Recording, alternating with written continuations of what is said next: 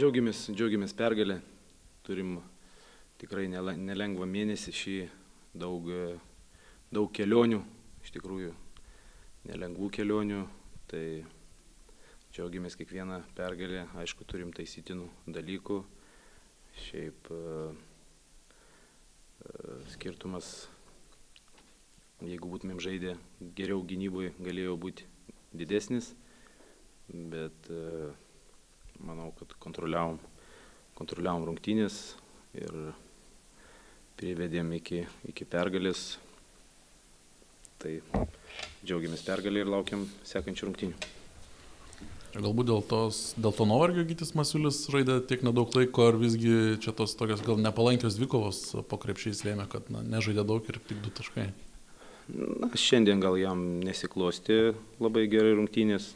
Taip, Gytis turėjo prieš tai nemažai gerų rungtynių, tikrai praleisdavo daug laiko aikštelėje, gal kažkiek tai e, ir fiziškai jautėsi ne, ne, ne visai užtikrintai.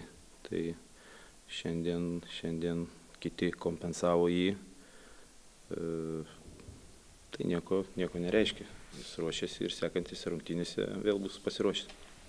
Šiandieną labai solidžiai tritaškis metėte 50 procentų tikslumu, ypač pirmoje rungtinių pusėje, tiek e, Tomas, tiek Osvaldas šitas geras impulsas gavosi.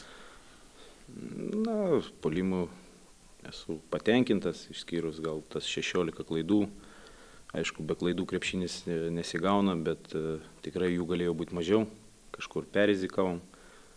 O šiaip polimų pelnėm 88 taškus, neblogai dalinomės kamuoliu, atlikome net 27 rezultatyvius perdavimus, tai žaidėm komandiškai, polimo esu patenkintas. Taip.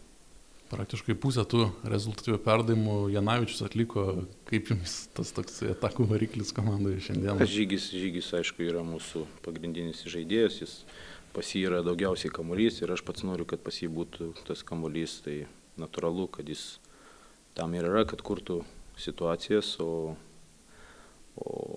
turim, turim tikrai eilę žaidėjų, kurie turi privalo išnaudoti šitas sukurtas situacijas.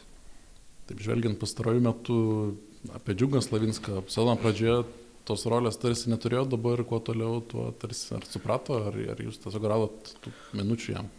Na, pas mane komandoje visi turi rolę. Rungtynės rungtynėm yra lygų.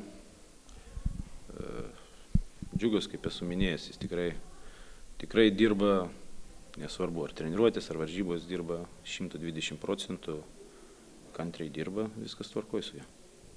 Aišku, čia turbūt ir po tos tokios sunkios išvykos į Vengriją toks atodusis, tokia smagi pergalė namie rezultatyviose rungtynėse. Na, džiaugiamės tikrai kiekvieną pergalę tiek Lietuvos krepšinio lygoje, tiek čempionų lygoje. Nėra silpnų varžovų ir, ir tikrai visas pergalės reikia iškovoti, o ne ateiti ir pasimti. Tai mes tą suprantam ir į kiekvienas rungtynės einam kaip į mūšį. Na, sunku šiandien mums buvo žaisti. Uh, ir taip tikrai pataikančio gerai Neptūno.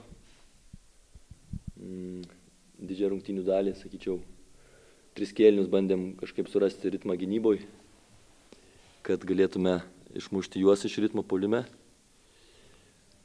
Patys e, visai neblogai, gan drausmingai, drausmingai žaidėm polime, tikrai neblogai viską vykdėm.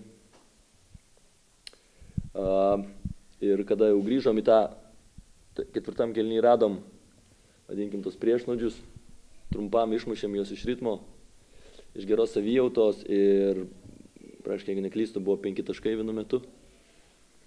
Ir padarom dvi visiškai vaikiškas klaidas gynyboje. Ir jų geriausias metikas įmeta du trajekus išėlės iš identiškos situacijos. Ir, ir tiek darbo nueina šunį ant odegos. Tai, tai gaila, bet pamokos, kurias mums reikia išmokti, kad užaugt kaip žaidėjams. Tai taip trumpai. Šiandien atrodė, kad galbūt tokio vieno iškaus komandos lyderio nebuvo, keli žaidėjai dalyjosi tą tokį tarsi vedančio krepšininko vaidmenį, galbūt pritruko tokio vieno iškaus žmogaus rungtinių pabaigoje, kad būtų galima pabandyti persverti tą rezultatą. Pritruko rungtinių pabaigoje e, elementarios koncentracijos paprastų dalykų padaryti gynybą ir viskas, kad Davidas Gailius neišsimestų lemiamais metimais du visiškai laisvus tritaškius. Va to pritruko. Polime mes tuo metu jau gerai jautėm ritmą. Ir, ir emociškai buvom geresniai padėti negu, negu Neptūnas tuo metu. Bet kada padarai tokias dvi klaidas, gauni šešis taškus, tavo rankas nusvyra, o priešininkams pakyla.